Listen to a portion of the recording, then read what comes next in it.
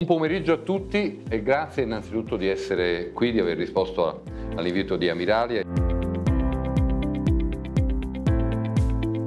Gestire in modo sostenibile la propria impresa conviene. Può sembrare un obbligo, può sembrare un dovere in più tra i tanti che l'imprenditore deve accollarsi, ma non è così. È un vantaggio addirittura monetario se lo si fa bene.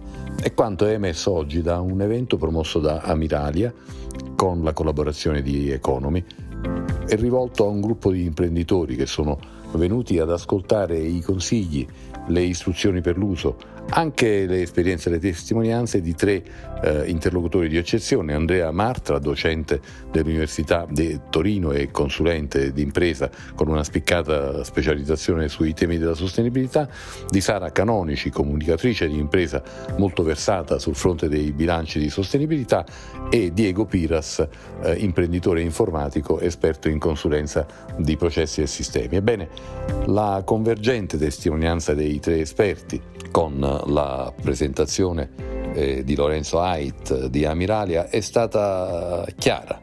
Essere, essere davvero sostenibili conviene anche se in questa fase iniziale di questa sfida che riguarda tutte le imprese può sembrare un costo. A guardar bene ci sono tanti sussidi, tanti aiuti finanziari sia dell'Europa eh, organizzata, sia delle regioni, sia dello Stato italiano che consentono di attutire se non altro questi costi e chi comunque si impegna e fino in fondo fa la sua parte oggi ricava un vantaggio economico che addirittura in termini di fatturato può esprimersi in misure a doppia cifra.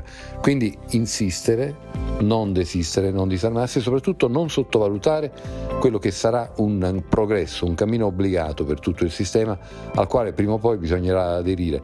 Meglio prima che poi oggi i prezzi dei servizi e delle consulenze sono più bassi, non potranno che crescere in seguito, accollarseli oggi significa anticipare e incrementare i vantaggi di domani.